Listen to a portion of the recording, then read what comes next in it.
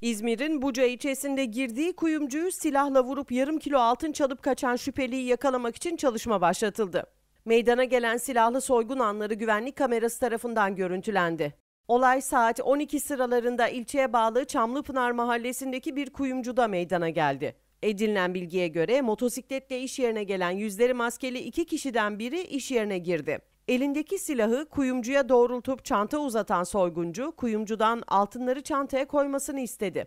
Bu esnada tabancadan çıkan mermiyle iş yerindeki BA yaralandı. Daha sonra soyguncu çanta içerisindeki altınlarla beraber kaçmaya başladı. Kimliği belirlenemeyen şüpheli kaçtığı esnada peşinden gelen çevre sakinlerine de ateş açtı. Öte yandan meydana gelen soygun anı iş yerinin güvenlik kameraları tarafından görüntülendi. Görüntüde soyguncunun içeri gelip silahını doğrultma anı, iş yerindeki çalışana ateş etmesi ve çantadaki altınlarla kaçtığı anlar yer aldı. Olayın ardından kaçan iki kişiyi yakalamak için çalışma başlatıldı.